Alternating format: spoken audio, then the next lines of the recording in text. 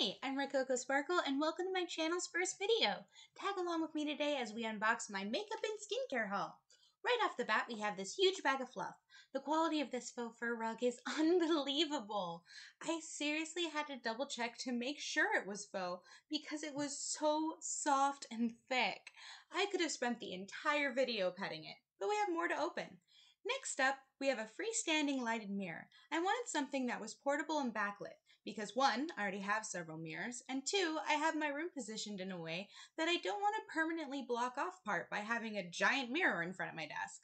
I'm also hoping it will kind of replace a ring light, at least for when I'm just trying to do my daily makeup stuff. Moving on, we have a rose quartz face roller set by Hana and Me. I'm forever messing with my face, and I'm hoping this will help my skin forgive me for that. Inside it has a roller, a scrubber, and a gua sha tool. I apologize if I mispronounced that. Unfortunately, of the seven languages or dialects spoken in China, I speak exactly zero, and Google won't specify which it derives from. For these four little packages, I'm not really going to bother opening them all the way, as three of the four are see-through packages. I will show you them, however, as they are part of the haul. I have two sets of very dramatic lashes, a peel-off face mask, and some clips. The peel-off mask wasn't cooperating, so I had to go find something to open it with off camera. You'll see it in the final cut, though. Here, we're to go ahead and forward to the next day, because I realized timing Lightning was too terrible to keep filming, so I called it a night and restarted in the morning. Clearly, I started too early because I forgot to hit record, and now the only ones who saw the process are me and the never ending stack of boxes that mock my soul.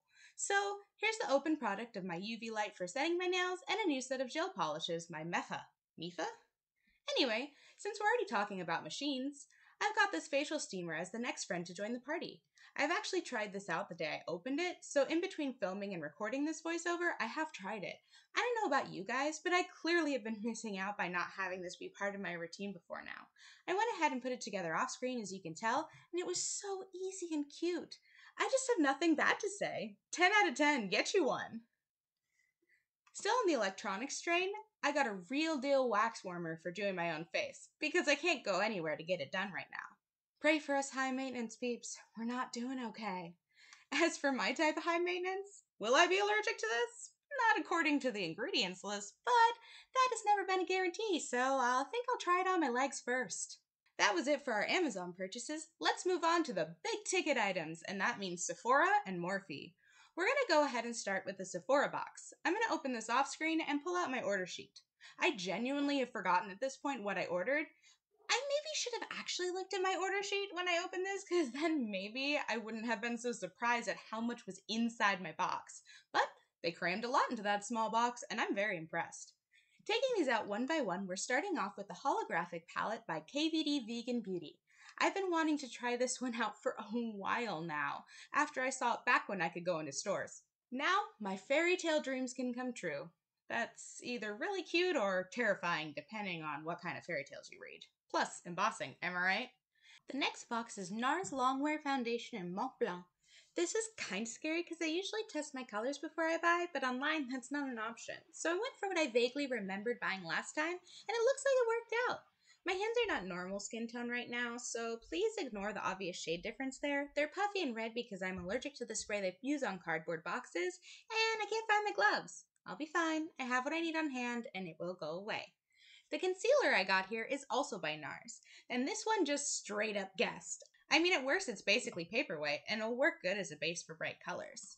Here we have a sampler of the perfume Princess by Kilian. If you don't already know, on Sephora Online you get to choose your samples, and this looked like fun. Urban Decay Eyeshadow Primer Potion follows that sampler, and I'm just a sucker for the packaging here. I love when things look like glamorous vampire decor. Plus, I need a good eyeshadow base, and Urban Decay hasn't let me down yet. Farsali Unicorn Essence coming through in the next box. I genuinely feel like a magical princess using this. I don't know if it actually does anything for me personally, but I enjoy it and that's all that matters. Keeping with sparkly magical themes, here we have the High Beam Liquid Highlighter by Benefit up next. And while I have some doubts about its claim to turn me into a supermodel, I do think it will be successful in turning me into the glazed donut of my dreams. Once again, Urban Decay is coming through to save my life with the all-nighter spray and primer. My goal with makeup is to be able to come out of a Category 5 hurricane looking exactly the same. I haven't been in a Category 5 hurricane, but I have performed, been in a snowstorm, and exploded the contents of a blender on my face while wearing these products and remained intact, so do with that information what you will. Another absolute staple for me is my Too Faced mascara. This is their waterproof better than sex in black. I love this mascara, but the jury's still out on the packaging. I keep thinking it's actually wet and try and wipe it down. That just might be a me problem, though. Our next box is the Anastasia Beverly Hills Brow Wiz in Taupe. With its reputation far preceding me in the makeup world, I don't think I need to explain why I chose this, but effectively, it's the holy grail of fixing my non existent eyebrows. This is the brow pomade also made by Anastasia Beverly Hills in the color taupe. I haven't used this eyebrow pomade before, but I do appreciate a good non negotiable placement of brows, so I have high hopes. Now, this I've been dying to get my hands on. It's the Fenty Beauty Kilowatt Highlighter in the shade Trophy Wife. Ever since this was released, I've been frothing at the mouth in amazement. Have you seen it? Have you seen the quality of product? It just makes my soul happy and I want to buy everything. I may not have bought everything, but I did buy two things the highlighter I just showed you and the Match Stix Trio in the shade Light. This will be my first cream contour outside of straight up stage makeup, so it'll be fun to switch up my powder routine. My last Sephora box items are an eyeshadow palette sample and a gel lotion sample. The shadow sample is a single color, a beautiful red shade from Natasha Denona Sunrise palette, which I may now need to purchase, and a Confidence gel lotion, which is going to be one of those things that I have to look up how to use, but hey, it's free. When I went to open my Morphe box, I realized that earlier, when I had taken out my packing slip, I had stuffed a couple of random late arriving items into the top of the box. So, surprise, surprise, we have some imposters among us. The first imposter is a Real Technique sponge set. I heard good things and I gotta branch out from my OG Beauty Blender every once in a while. The Airspun translucent powder is a little bit of a risk purchase as I'm not usually able to use drugstore products due to allergies, but this has gotten so many good reviews and I have a friend who loves it, so I'm willing to give it a shot. I went ahead and sliced the top of this packaging off camera because it was taking too long to open, but I got it open and I was pleasantly surprised to find out they provided little paintbrushes along with this face and body paint by CC Beauty. I've seen a lot of people on YouTube, Instagram, and TikTok using these paints, so I'm pretty excited to try them out for myself. Unlike my Sephora box, there's actually a lot of bubble wrap inside of my Morphe box, but I did appreciate that all my items seem to have arrived in perfect condition in both cases thus far. I got this Morphe gel liner in the shade Jet to try out. I would say that gel liners are my preferred type as they feel substantial and purposeful when applied and they lend themselves to a really crisp line when done correctly.